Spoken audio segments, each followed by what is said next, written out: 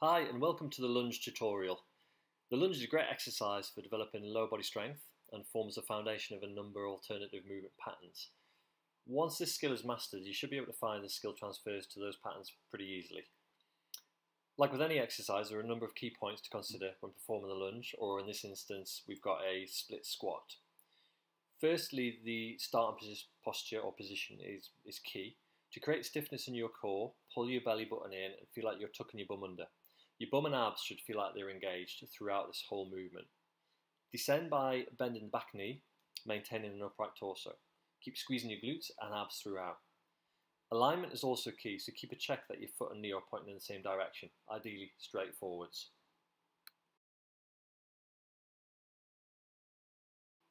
Some common mistakes to look out for include lunging or moving forward. Uh, this is often due to loading the leg or putting too much weight through the front leg uh, or straightening out the back leg.